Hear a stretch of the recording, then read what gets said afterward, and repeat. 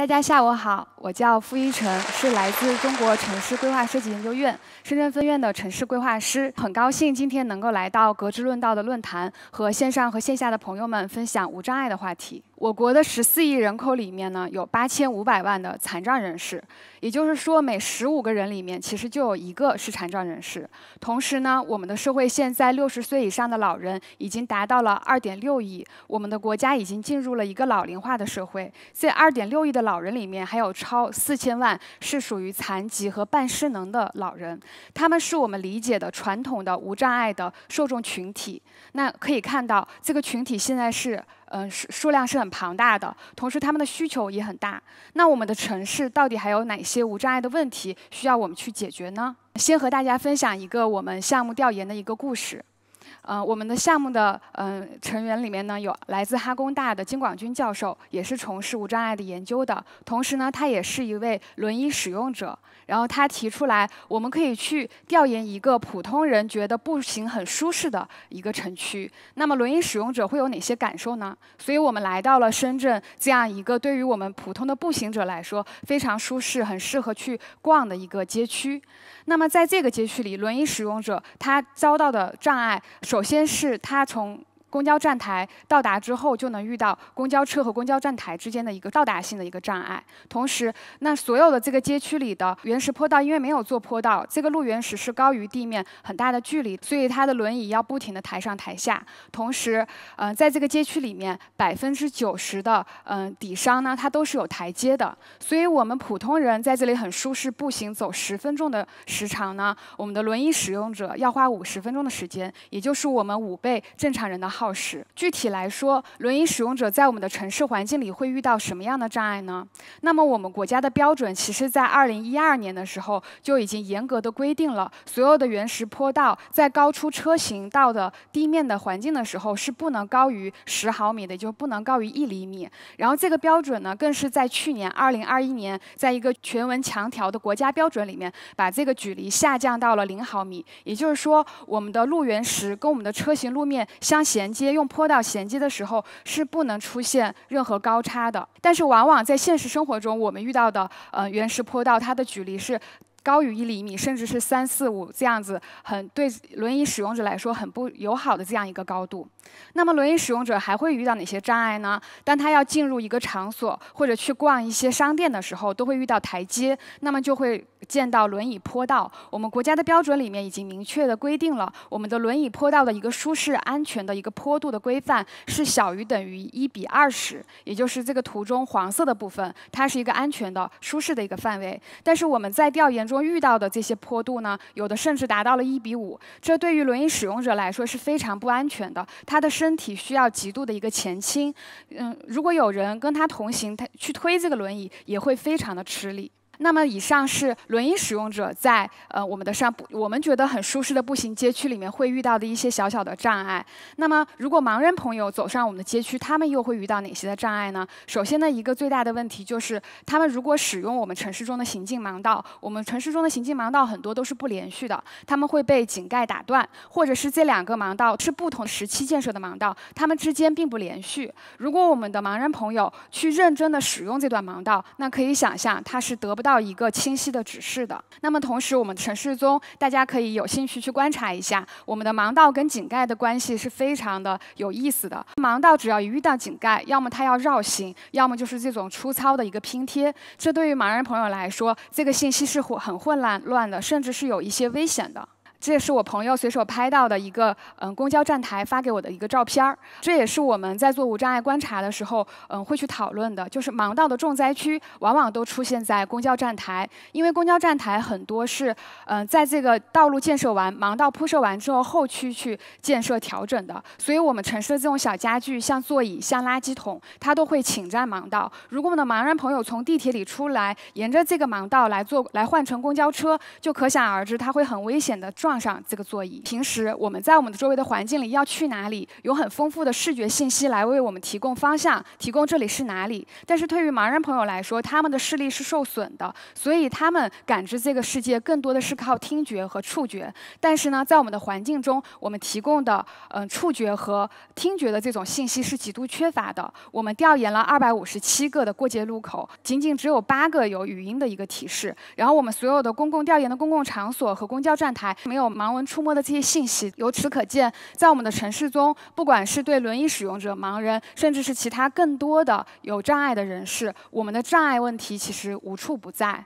那我们应该如何去解决这些障碍问题呢？深圳呢，嗯，提出来建设全国无障碍城市以后，在我们的福田中心区，嗯，进行了一个解答，提供了他的一个答案。嗯，在这个五点四平方公里的这个范围内，深圳中心区建成了全国首个智慧化的零高差的无障碍中心区。那么，在这个系统化的范围内，嗯，我们怎么去解决无障碍的问题呢？首先是我们的每一个单个的无障碍设施要达标，要建设的优秀。同时，我们这个整个无障碍设施的体系的系统要是全面连续的，也要优秀。那么，我们对这五点嗯四平方公里里面的四十多条道路，呃九十多个地块和百一百多个交叉路口，都全面的实现了无障碍。具体有哪些做法呢？大家可以从照片里面看到。首先是我们的一百多个交叉路的路口都实现了嗯零高差的一个处理。这个零高差的处理呢是非常精细的，它包括我们的路缘石的界面，包括我们的安全岛，包括我们的过街的中间的休息设施的空间，它的呃路缘石其实是跟我们的车行地面是完全平接的，能够做到零高差。那我们也可以走近一点再看，嗯，大家可能会考虑，如果我们所有的人行路面跟车行路面都零高差的衔接了，那会带来一些机动车的一些安全问题。所以我们在所有的这种面向机动车的界面都设置了安全的防护桩，这样它虽然是平接了，但是它却会给人提供很大的安全感。大家也可以看到，在这张照片里面，就是我们的安全岛上，甚至在两侧还设置了好看的、有一定高度的花坛，这样呢也给我们了一定的安全感，同时呢它的景观也是。很优美的，所以我们也一直在说，福田区它做的这个零高差路口是一个很精致的、很高颜值的零高差的一个路口。我们能看到，它这个系统化的无障碍，它的优秀不仅是在于它把所有的路口都处理了，包括所有地块的车行出入口，它都能做到提前的放坡，让我们的人行空间和我们的车行地面是完全平缓化的这样一个连续的环境去步行。同时，在我们这个交叉路口重要的地方呢，也很细心的考虑的使用了防滑铺装，这对于老人以及行动不便的人士来说是非常友好的。特别是在深圳下雨的季节，呃雨雨天比较多的时候，这个对于老人的行走安全是有足够的保证的。那我们也可以看到，在整个这个道路环境优化的过程中，它的福田中心区的所有道路是实现了人行空间、非机动车空间和机动车空间三个空间三块板的这样一个空间分离设置。这样呢，就能最有效的保证我们人行的一个安全。在这种连续安全的人行的环境上，我们铺设了很连续、很标准的盲道。大家也可以从这个建成照片上看到，我们这个时候在铺设的盲道和我们公交站台之间的关系就是很友好，也并且是指示明确的了。我们能看到这个盲道的铺设，它是一体化的一个标准的，它的指示盲道和提示盲道都是非常清晰的，能给我们的盲人朋友在这个地方提供很清晰的一个方向和指示。那我们也可以看到，盲道和井盖的关系更加的友好，甚至天衣无缝了。井盖变成了盲道的一部分，盲人朋友在盲道上行走的时候，可能就根本感觉不到这下面有一个井盖。同时，我们在重要的交叉路口的红绿灯都设置了提示的语音蜂鸣器，这样是在鼓励我们的盲人朋友有更多的机会是独立出行，他自己能通过听觉来感知红绿灯信号的变化，这对于他们的出行来说无非是锦上添花的。同时，我们所有呃重要路口上交叉口的智慧灯杆儿，它不光是在起着照明的作用，它同时还有一个摄像头。那么这个摄像头通通过和视频 AI 技术模拟的一个联合，它是可以抓取轮椅。的使用者、老人这些行动不便人士的一个体态，就会反馈给我们的红绿灯。那么，当他们过马路的时候，我们的比较宽的路口，它就会延长这个行人绿灯的时间。这样，对于行动不便人士来说，他们就比较能够从容的、安全的去度过这个路口。同时，我们可以看到，这个系统化的无障碍，它还在不断的优化它的答案。它在结合街边的绿地和这种绿化的空间呢，其实是放了很多油气设施的。那么，对于体力不支的老人，或者是肢体障碍者，或者是甚至是小孩，他在这个街道上行走累了的时候，他能够去休息。我们的街道空间它不再是一个交通的概念，而是一个漫游的一个可以停下来去驻足的街区的一个概念。我们也在很多次的回访到福田中心区的这个无障碍的一个街区。这一次我们走回去的时候呢，大家可以看到红色圈里面是我们捕捉到的一家人推着他们坐在轮椅上的家人，在整个街区上漫游。就是这张照片里面最左边的这一家人，我们跟着他们走了十几二十分钟。他们在这个街区里面度过了很多个路口，都能够在这个零高差的路口中很平缓化的度过。所以他们一家人就是一直在聊天，有说有笑的，根本感受不到这些环境带带给。他们本来存在的障碍，同时我们也可以看到有更多的使用者，比如说像滑平衡车的小孩和他跑步的妈妈，有去买菜的推着车的阿姨，有带着孩子推着婴儿车独立出行的妈妈，他们都能更好的使用这个空间。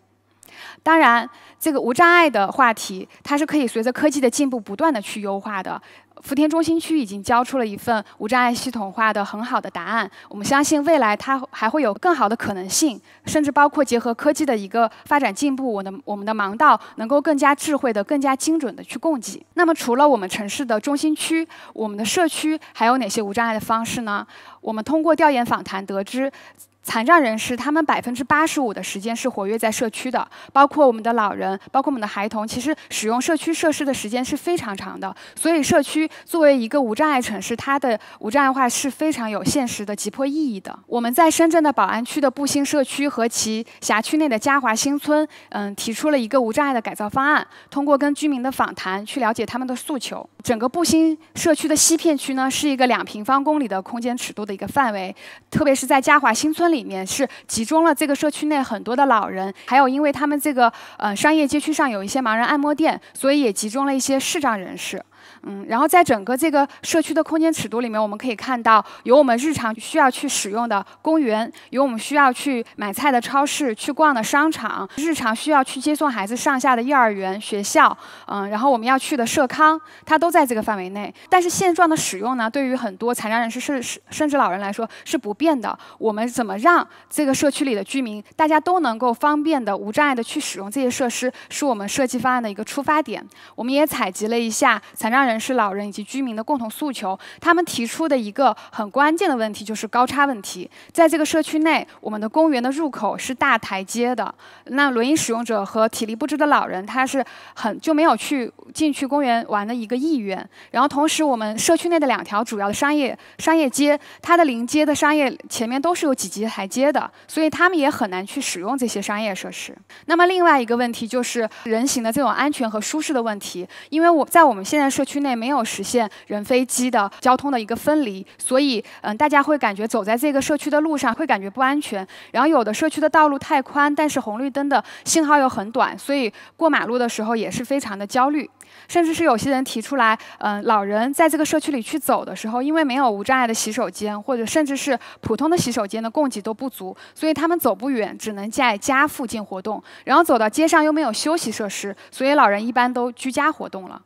那么，针对以上的问题，我们提出来了针对社区生活，让他们能够方便的去造访这些高频次的场所的一个解决方案。那么，首先是一个系统化的思路的构建，就是在我们的社区内，我们通过一个串联了公园、嗯学校、超市、商业，嗯这些高频次场所的一个社区环路和两条无障碍的主要商街，要在这条环路和两条商街上完全实现零高差的无障碍化。同时，结合居民们的需需求，我们提供了超过十处的呃社区的休憩设施，社区内的十八个路口全部实现呃零高差的无障碍化，呃以及这个社区内包含的三个公园，每一个公园都必须具备无障碍的出入口。然后这个社区因为它附近是没有地铁的，居民的公共出行主要靠公交站台，所以这也是作为居民在出去社区很重要的一个部分。我们也提出来，辖区内的九个公交站台都必须去实现无障碍化，来支撑整个社区的无障碍化生活。再聚焦到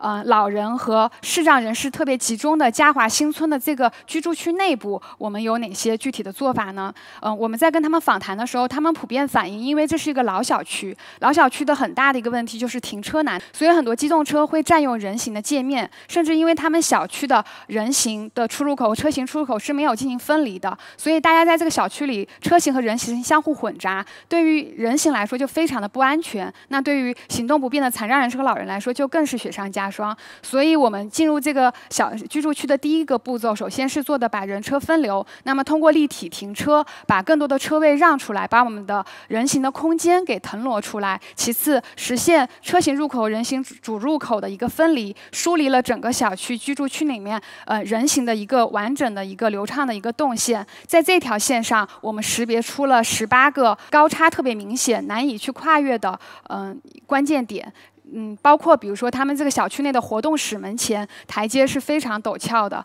然后以及每个单元的入户口，它这个坡度其实也不符合标准的，以及我们的架空层的一个空间和我们的地面空间其实也是有一定的高差的，所以我们提出来把这个关键的节点进行提前的一个坡化处理，来完善我们小区整个人行路面的一个嗯零高差的一个很平缓的一个行环行驶路径。社区除了出行需要我们去无障碍化，还有哪些？内容是可以去更多的提供一些人性化的服务呢？这两年深圳陆陆续续出台了标一些新的标准，这里面呢有一些很让人惊喜和感动的地方，就是标准里面规定了我们的社区里面残疾人的康复室的面积、老人的呃托养的一个面积，包括残障人士的一个日间照料的一个在社区用房里的面积。那么未来有了这个标准以后，我们就可以在社区的用房里面去使用这些标准规定的面积，创造出更多的功能空间，包。括嗯残障人士的托养、精精障家庭的一个庇护的需求，嗯自闭症小孩和普通孩童融合的幼儿园以及托养的一个空间，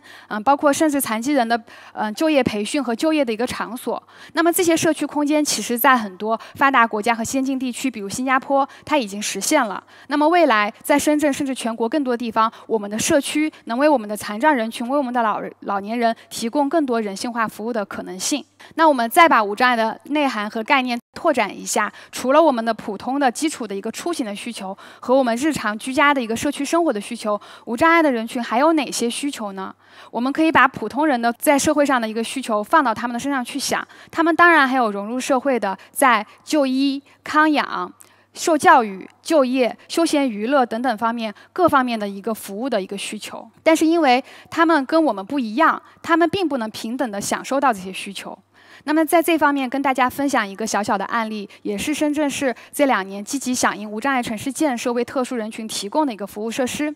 呃，因为深圳的嗯精障的儿童，还有包括这个自闭症儿童的比例，在全国的一线城市里面来说都是偏高的。嗯，然后我们也走进了很多自闭症的家庭，有的是他们的孩子已经成年了，他们的家长告诉我们，因为以前没有特殊教育学校，自闭症的孩童的认知和行为能力跟普通孩子是不一样的，所以他们的孩子不能接受教育。那么他们一生中大部分的时间都是在在家里，在家里得到照顾，在家里接受教育，所以他们很难真正的融入社会，具备一项特长和技能。现在有了特殊学校以后，嗯，就是为我专门为我们的自闭症的呃人群打造了这样一个特殊教育学校，他们就有更多的机会去接受平等的教育。他们其实很多中是很有天赋的，他们。就有了这样的机会去追赶甚至超越普通孩童。深圳市在嗯第一特殊教育学校之外，又专门为我们的自闭症孩童建设了第二特殊教育学校，来为他们提供整个连续的九年义务教育。